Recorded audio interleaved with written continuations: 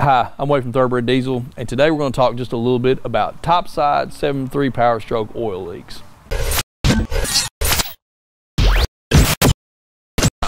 So talking today about topside 7.3 oil leaks, and what we wanted to do is we wanted to kind of, we'll do a couple different videos about different oil leaks that you have on 7.3 Power Strokes. They're, they're common to leak oil, so we want to point you in some of the directions to maybe help you find the leak that you're having.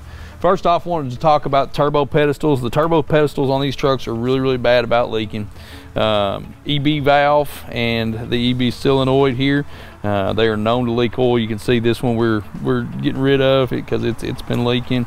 You can get leaks on the top side of this as well. You can get leaks where the the turbo mounts to the pedestal, and you can also get a leak where the pedestal itself mounts to the engine block. Really, really common places for leaking. So now let's get in the engine valley and we'll show you some places up there as well.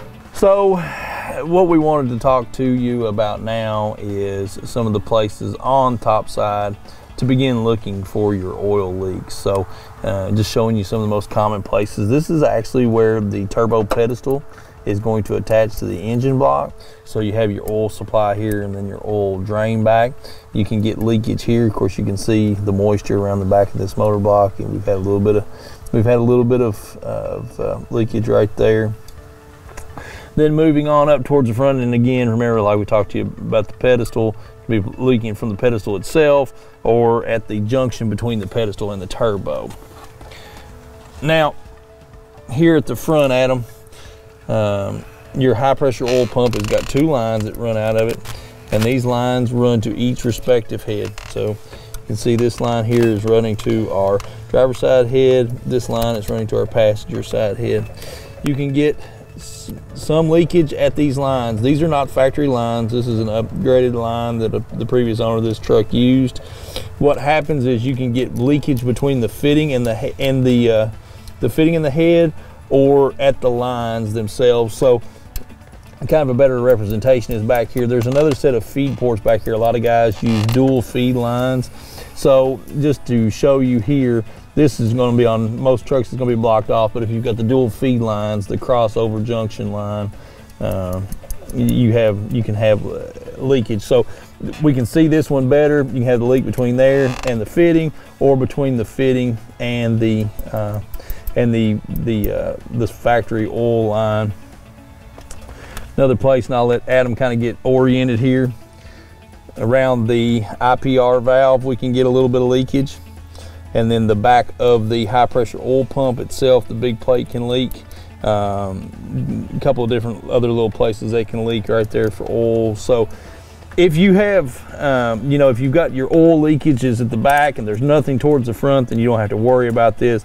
If you've got moisture at the front of the motor, all the way back, then be suspect of the lines where they adjoin the head around the high pressure oil pump uh, is another good reason. So this is uh, another good place to look. And then make sure also it's not fuel. Fuel bowls can leak. You can get you know you're going to have some residual oil moisture in the top side of the motor.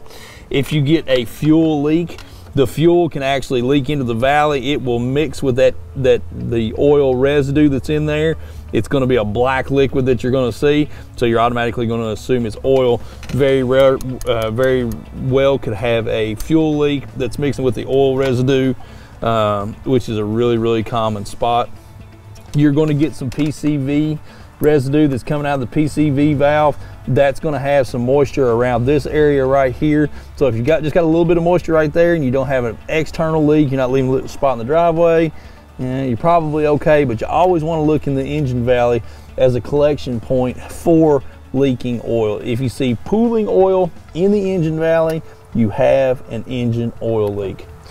So that is our talk on 7.3 oil leaks. 7.3s, they're gonna leak oil. It's easy to fix them, usually pretty easy to find them. Uh, the top side leaks are the most common, but we're gonna talk to you about other leaks that we see on the motor as we kind of go along here. So I'm Wade from Thoroughbred Diesel. If you want to tell us about some of the leaks you've had on your 7.3, comment them in the comments below. Comment right here somewhere. And uh, um, this video is part of a video series that we've got going on with a turbo installation, pedestal installation, wicked wheel install. So you can check on those videos somewhere right in here. So thank you all for watching. We appreciate it. And as always, if you have any questions about anything, just give us a call. Thank you.